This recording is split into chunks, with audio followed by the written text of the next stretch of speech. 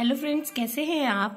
आज मैं आप लोगों के सामने बड़ी ही मज़ेदार सी ग्रहों के नाम याद करने की ट्रिक लेके आ रही हूँ, क्योंकि बच्चे सबसे ज़्यादा परेशान होते हैं कि कौन सा ग्रह, कौन सा प्लैनेट सबसे छोटा, कौन सा बड़ा इस चीज़ को याद करने में।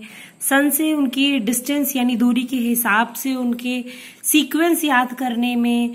मतलब ग्रहों का जो टॉपिक होता है वो बच्चों के लिए बड़ा ही बोरिंग कंफ्यूजिंग क्योंकि लाइवली उन्होंने उसे देखा नहीं होता है। तो इस चीज़ को हम उन्हें याद कराने के लिए बड़ी ही सिंपल और मज़ेदार सी ट्रिक आपके सामने ला रहे हैं।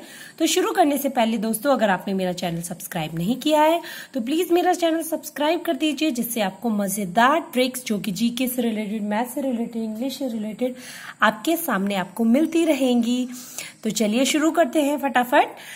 सबसे पहली ट्रिक है आकार के हिसाब से, यानी कि कौन सा ग्रह सबसे छोटा, कौन सा प्लैनेट सबसे छोटा, कौन सा बड़ा, उसके हिसाब से आपको एक सेंटेंस याद करना है, जनता सुन ईवीएम मशीन जो कि आज के डेट में बड़ा ही कॉमन है, चारों तरफ़ ईवीएम मोदी मशीन इसी के बारे में चल रहा है। तो बस आपको इतना याद रखना है, जनता सुन ईवीएम मशीन तो जनता से जुपिटर और सुन जो है आपका, वैसे तो ये सन लिखा है बट हम इसे सुन पढ़ेंगे। तो sun Saturn Uranus and Neptune EVM में आपका अर्थ वीनस एंड मार्स और उसके बाद मशीन से आपका मरकरी तो आपको बस आकार के हिसाब से आपके दिमाग में जैसे ही आए कि कौन सा प्लैनेट सबसे बड़ा, कौन सा सबसे छोटा तो आपको बस इतना ध्यान रखना है, जनता सुन ईवीएम मशीन और इसमें एक चीज़ और ध्यान रखना एम से मास है लास्ट में और एम से मरकरी यानी मार्स और मरकरी में अगर आप कंफ्यूज हो तो मर मर करी यानी मर गया। तो सबसे आखिरी में इंसान क्या करता है लास्ट में जाके मर जाता है। तो सबसे छोटा मर गया, यानी मरकरी है। ठीक है? अब बात करते हैं हम लोग सन के डिस्टेंस के हिसाब से, दूरी के हिसाब से, कौन सा प्लैनेट सन के पास है, कौन सा प्लैनेट सन से दूर है, या फिर ये कह लीजिए सारे प्लैनेट्स के जो नेम है, आप वो कैसे याद रख सकते हैं? तो एक बड़ा अच्छा सा सेंटेंस है ये।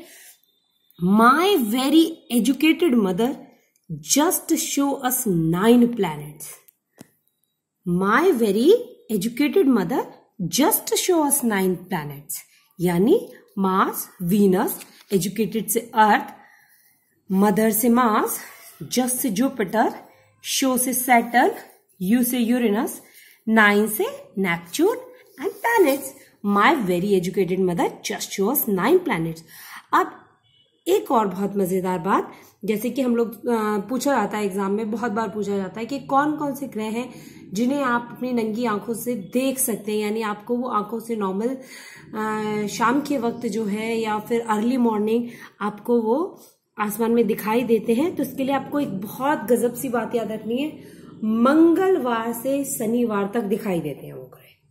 ये ट्रिक है।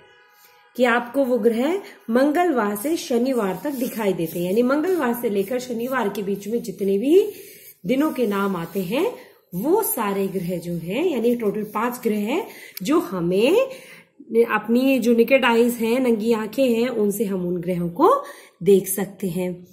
ठीक है? अब आखिरी ट्रिक जो हम इसमें ग्रहों के उसमें बताने जा रही हूँ आप लोगों को, वो है डेंसिटी के हिसाब से, यानी कि घनत्व के अनुसार ग्रहों के नाम। बढ़ते हुए क्रम में। यानी सबसे ज़्यादा भारी, सबसे ज़्यादा डेंस्ड ग्रह जो है, वो कौन सा है? उसके बाद कौन सा, उसके बाद कौन सा? और फिर लास्ट इस हिसाब से मैं आपको बताने जा रही हूँ।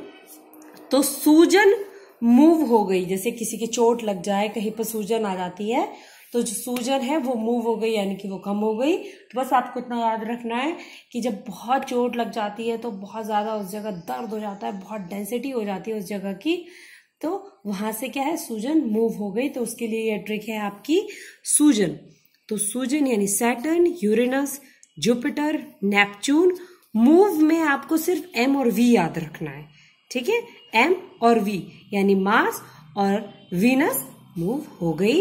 यानी ये आपको सिर्फ़ चार चीज़ें याद रखनी है, चार सेंटेंस याद रखने अगर आकार के बारे में आपसे बात आती है तो जनता सुनी वीएम मशीन और अगर सूर्य से दूरी के बारे में बात आती है तो my very educated mother just shows nine planets अगर नंगी आँखों से ग्रह दिखाई देने की बात करती है तो मंगलवार से शनिवार के बीच में जितने दिन आते हैं, वो हमें नंगी आँखों से देखे जा सकते हैं वो सारे ग्रह. और अगर घनत्व डेंसिटी के हिसाब से बात की जाती है तो सूजन है जो कम हो गई, यानी कि सूजन मूव हो गई. बस ये चार जो है आपको सेंटेंसेस याद रखने हैं.